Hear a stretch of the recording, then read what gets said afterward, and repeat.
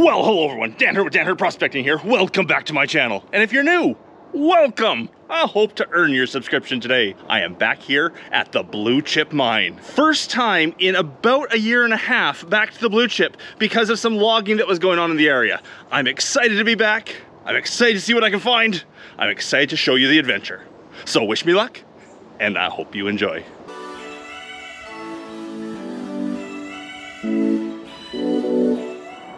So in not coming in in a year and a half, this place is overgrown. I just spent the last half hour cutting a path from my quad to the mine shaft. There was so much bush and greenery in that little area. It's insane. And actually to drive the quad from the truck in here, I had to just go by memory where the road was. It was completely overgrown crazy what happens when no one goes into a site for so long. Just cut into the main adit. This is the number two adit. This is sort of the, the big one. This is the one that you can walk in nice and safe, nice and stable. I don't plan to do anything inside here today. Might show you around a bit, but I don't plan to do anything really inside. Just checking on it, making sure it's still, you know, in one piece and no one's been here.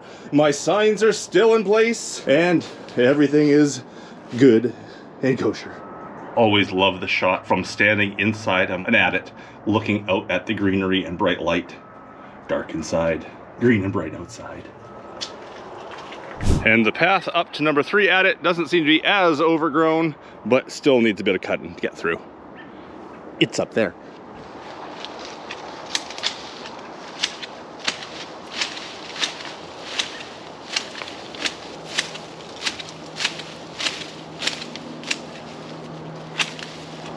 Good enough.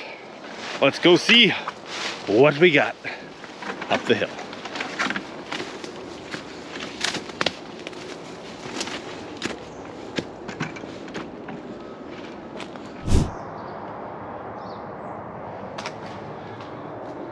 There we are, the number three adit. And a beautiful day in the neighborhood. It's a beautiful day in the neighborhood. There's the hill I tried to fall down last year. That could have been the end of me if I actually went over. It was darn close.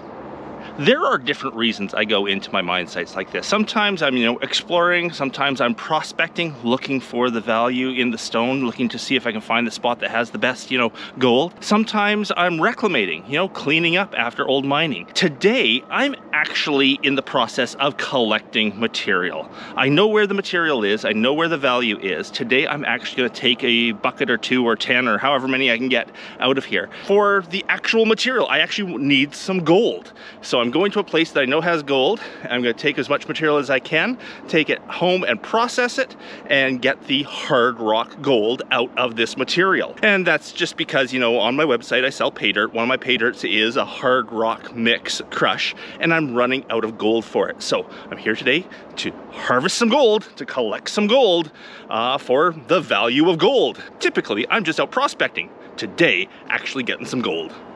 So this spot right here, Mike Bryson and I, about three, four years ago, we actually brought the high banker up and we're actually running material right here and found some, um, you know, fairly good gold right here. So this is where I'm gonna go and do some collecting today. Not only am I going to be collecting uh, the crush, the weathered out crush, the weathered out material here that has hard rock gold in it, I'm also gonna be trying to find some good specimens as well. Beautiful quartz and pyrrhotite, maybe some pyrites, maybe some arsenopyrite, uh, you know, that kind of stuff, all in one nice rock that people can use uh, in their rock collection on their mantle to see what, you know, gold ore looks like. But I got a whole lot of equipment way down at the quad to carry up here. But of course, first you want to see inside the adit. Again, I'm not working inside the adits today. Looks like how I left it. Last time I was here digging this material, I got kind of frustrated. It was so hard to actually get anything. So I'm doing things a little differently today. I have my Honda generator, carried it in, and I went to the thrift store and bought myself a cheap shop vac. So what we're gonna do is we're gonna scrape out all the cracks and crevices here and vacuum it up and see if that's easier to get, you know, a bin full of material than trying to scrape and dig and curse and swear and you know all the things I did last time.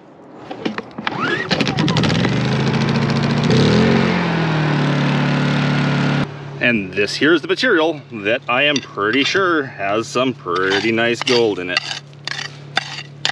Let's get vacuuming.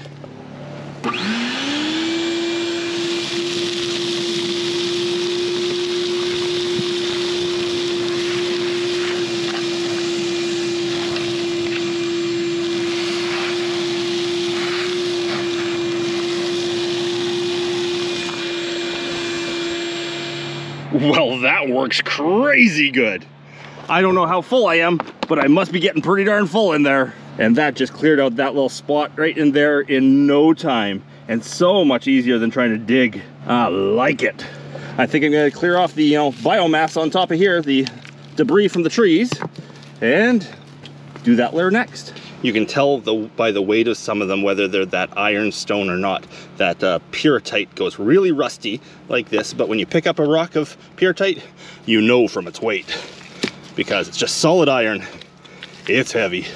And you can't tell by the rust on the surface because so many of these rocks are so completely rusted, but you know, they're light, so that's not them. This looks like a good little spot to vacuum. If I get rid of the rocks first, I don't have to fight them when I'm vacuuming it up.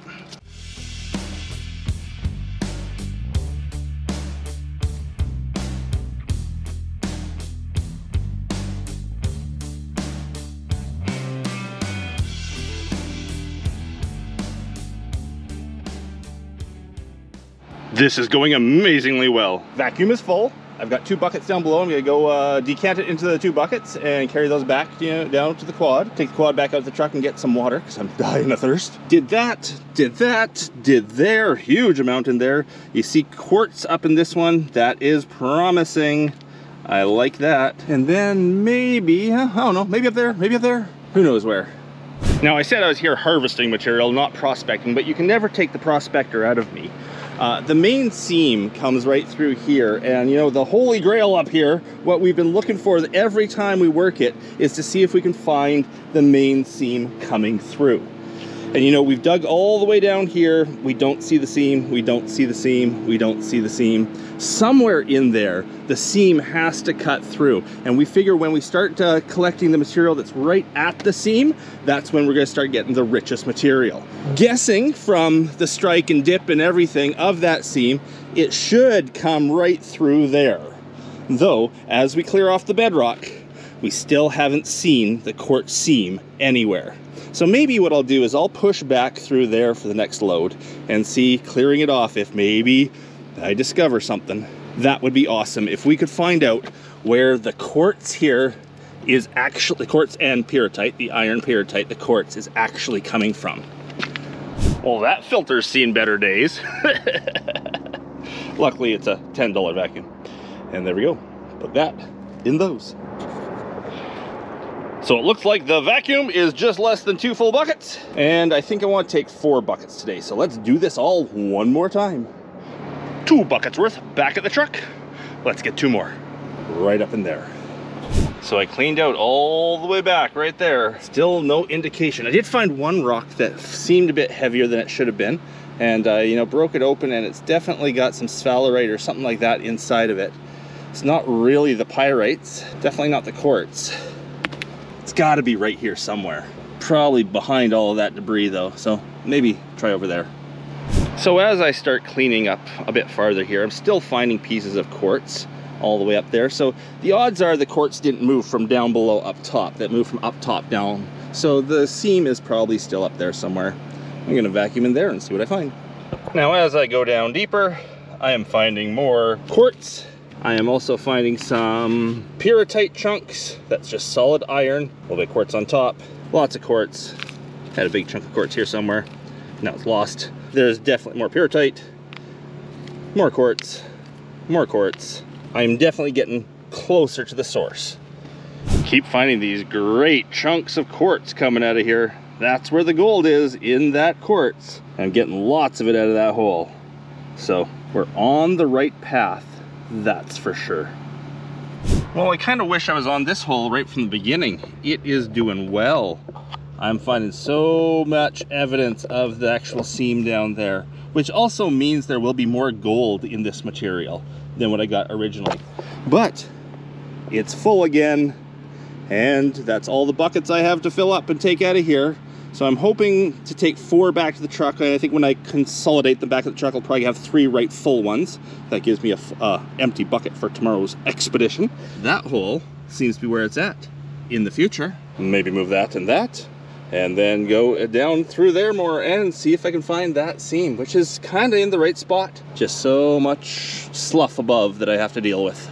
Anyhow, this is a great way to collect the material. This vacuum is doing a marvelous job, and it's not so much, you know, physical, strong arm work, although I still have to carry it down the hill, which is physical, strong leg work. Hmm. Yep, someday it might be worth manhandling that log out of there, rolling those rocks aside, clearing from where I know the seam is, and just tracing all the way across and seeing what I find. But I'm definitely, you know, down onto much more lucrative material down there. There will be gold in there. There will be some nice gold in there. Now this stuff I'm collecting right now actually isn't the stuff that I make my dirt bags out of. No, I will be processing this through a high banker, through, you know, the gold cube, through a newfangled tool I got from Gold Hog probably use that actually. I will be processing this somehow and recovering the gold out of it. It's not placer gold, it's hard rock gold that has naturally weathered out of the quartz and the pyrrhotite. So it still looks perfectly like the hard rock gold angular, sharp, crystalline. The stuff I use for making my pay dirt bags from the blue chip mine here is actually the quartz seam itself crushed down. It's quartz crush, and it has gold in it too, but it's not enough. So what I do after I fill a bag of the quartz crush is I take some of this stuff that's naturally weathered out and put it in on top. And that way you're guaranteed to have gold in every bag. But again, I was running out of the free gold material, so I need to go and, you know, collect some more. That's what I'm doing today. But I think I'm also going to go across to adit number five, which really isn't an adit, it's just a divot in the mountainside over there, and uh, see if I can get some specimens as well. Due to a small lack of buckets, I have to carry that bucket back, and I have to carry that material still in the vacuum. Down the big hill without falling. Wish me luck. Absolutely love this generator. If you ever need a good generator, the Honda 2000. Quiet, powerful, reliable, it's the way to go.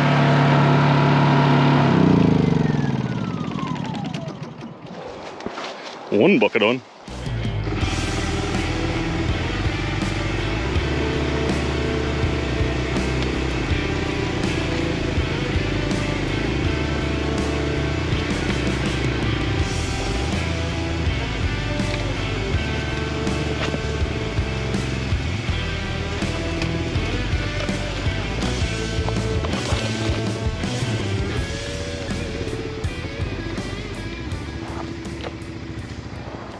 Well, there you go.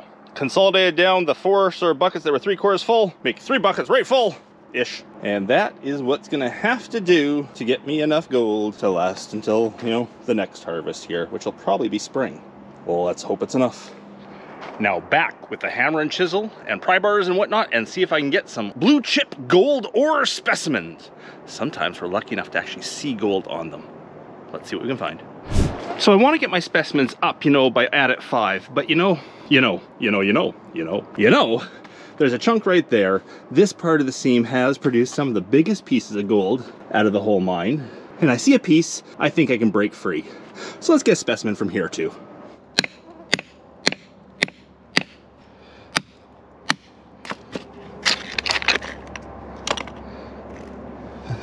well, that was a lot easier than I expected. There is a specimen of gold ore from the blue chip mine, from the seam that shows the biggest pieces of gold when you're lucky enough to get them.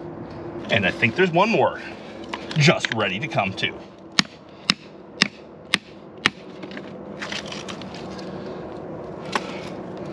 Two pieces of gold ore.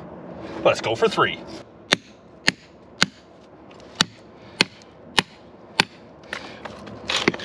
Make that three and four. Oh, and that's where you find the gold, in pockets just like that. Again, pockets just like that is where the gold hangs out. So here is the stereotypical piece of gold-bearing quartz vein. It's got pyrites through it, it's got sulfides through it, it's got rust all through it. That's the type of thing that bears gold. And if you see these little pockets of rust, that's typically where the gold will form especially in the blue chip mine here. There's one, two, three, four, five, that's kind of one over there too, six pockets. Any one of those could have gold. And this one has some bigger pockets too. One big pocket, another big pocket, little one over there. Again, that's what you're looking for, for gold ore. And if you zoom right in on these pockets, that's when you sometimes may get the chance to see gold if I weren't shaking so much. My goodness, I'm shaking a lot. Now, unfortunately, adit 5, which is nothing more than this just little dip in the hill, I jokingly call it an adit, someday it might be, but adit 5 looks to have a lot of work before I can actually get at any of the material. A lot of slough has come back in in the last year and a half. Looks like a lot of digging. This wall right here was loaded in gold. It had a layer of quartz on the surface of it, and every time I broke a piece of quartz off the surface, I would see gold in that quartz. This was by far the most visible gold I've seen on this claim. But unfortunately, the face ran out and now to get more of it, I have to go down, which is going to be significant work. And I don't know if I have it in me today to shovel all that. Maybe I'll go over here. There's a really nice piece of pyrrhotite over here that hopefully is less digging to get to. So I happen to know at the bottom of this little divot right here, there is a very nice chunk of pyrrhotite. That's an iron pyrite, a special kind of iron pyrite, right jet black. It always sets off my metal detector when I'm up here. Not all pyrite set off metal detectors, pyrrhotite does really loudly. Sounds like, you know, there's a Sherman tank buried right there. So what I'm gonna do is I'm gonna clear that away, just with my shovel, just scrape it all back, see if I can expose it, and see if any of the pieces are exposed enough that we can get a good sample off it.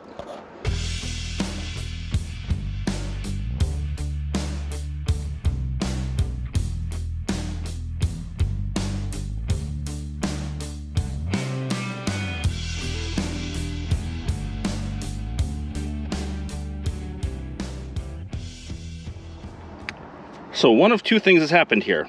My brain is failing me because I sure remember a chunk of pyrrhotite right there. Or I harvested it already. I got it already. Or someone got it already. I still see some little evidence around.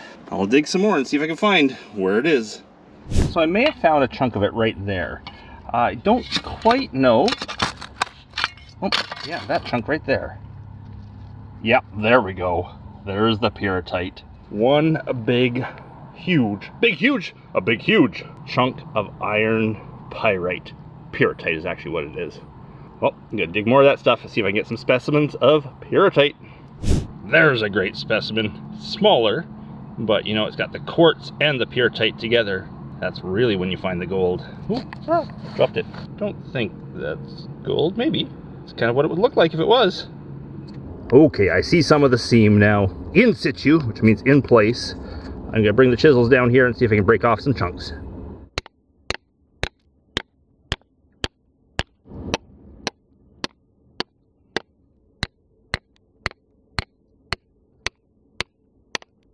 Well, that's definitely the massive pyrrhotite that I was expecting to see down here. Just a case of whether or not I can get off specimens or if it's all just going to crumble like that. Hopefully there's still some quartz in it too.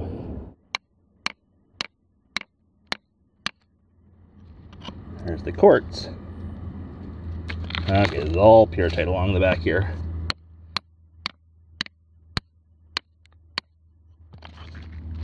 There's a nice specimen. Lots of the pyrrhotite, some of the quartz. That's where we find the gold. Okay, this might produce something nice.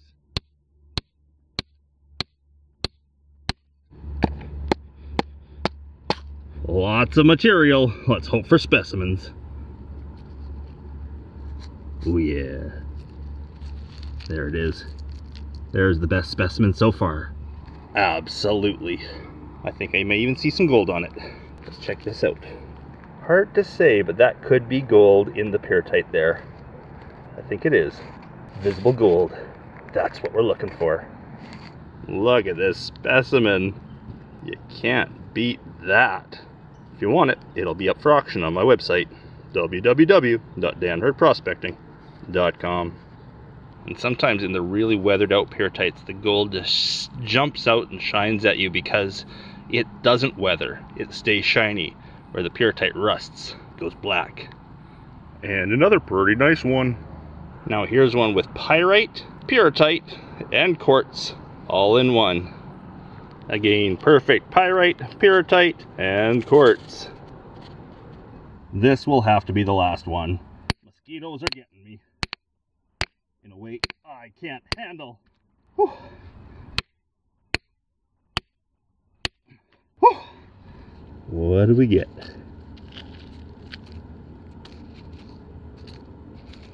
What? Oh, ah, there it is.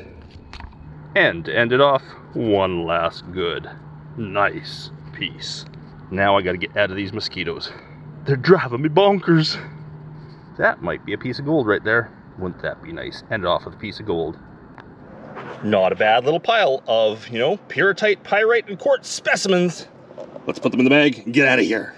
And of course, that hole will be there for the next time I come and I can harvest some more. Love the scenery here. So lush and green. So different than back the Okanagan where I come from, where it's dry and hot. Now I know many of my viewers hate it when I collect material like this on video and then don't show you the results. So let's do a time warp home right now, run that material through one of the machines and see what it has in it for gold. Gold from the blue chip mine. Yes, the blue chip mine. To recover the gold from this material today, I will be using Gold Hog's new tool, the Boar Box. Yes, this tool is not currently on the market. I am helping in the sort of testing stage of it. They're still developing it. Hopefully this fall it'll be out to market on their website. About $400 for the boar box. But if you want to see videos on the boar box, go check out my channel. Today I'm just using it to recover the gold.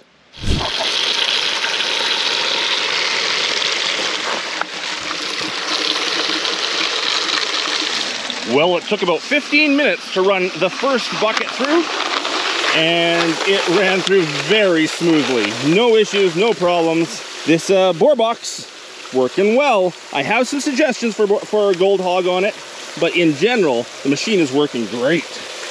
Let's get the other two buckets and run it all through.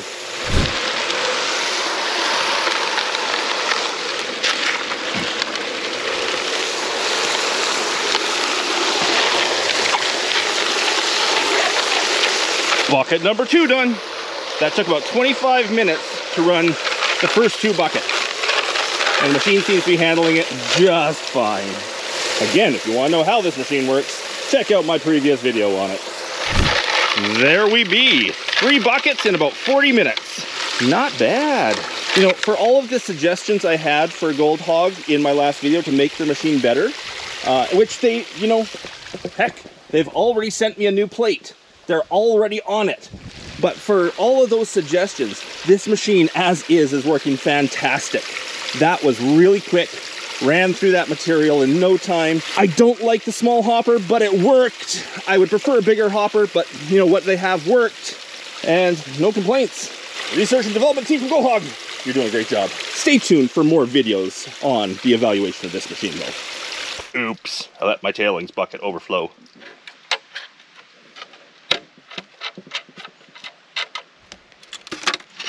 It does take about five minutes to, you know, take off all the wing nuts and undo the machine, rinse all the mats out, and then put it all back together again.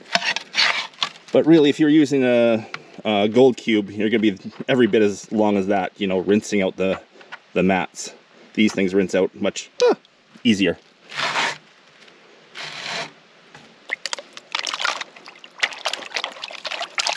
There we go.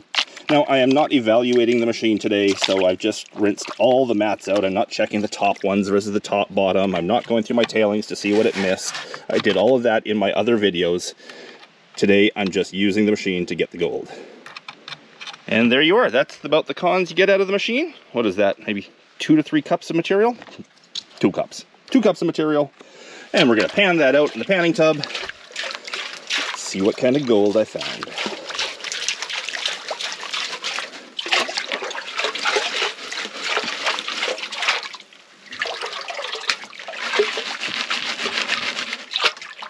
There we are. Really nice crystalline chunky gold. Not as much as I'd hoped for in that though. So I'm definitely gonna have to go back for another trip this year and get more material for my pay dirt bags because that will not be enough to fill many. Though it does look like I missed a few pieces back there. Oh yes, there's another one over here too. So there's a bit more. I just didn't do a very good job of cleaning it up. And because in that vacuumed material, we ended up with some really nice looking juicy quartz ore samples that I guarantee have some gold in them. I will use the crazy crusher, crush it down into a powder and use this unsearched in my pay dirt bags along with the rest of the material I already have.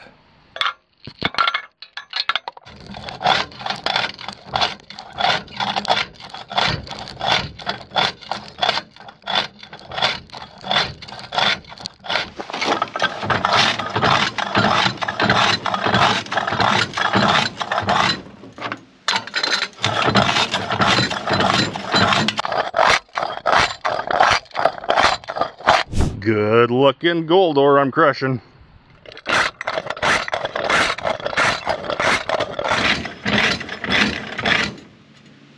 There will be gold in there. And from the mouth of Adit number three, I'd like to say thank you to everyone for watching. A big extra thanks to my patrons out there. Because of the support of my patrons, I get to make these trips and these videos and make this content for everyone on YouTube to watch. So thank you patrons. I love your support. Hope everyone enjoyed the video. If you did, please leave me that thumbs up. If I haven't earned your subscription yet, I hope I earned your subscription today. And there will be more videos coming from the Blue Chip Mine now that I can get back in here. So look forward to them in the future. So until then, bye.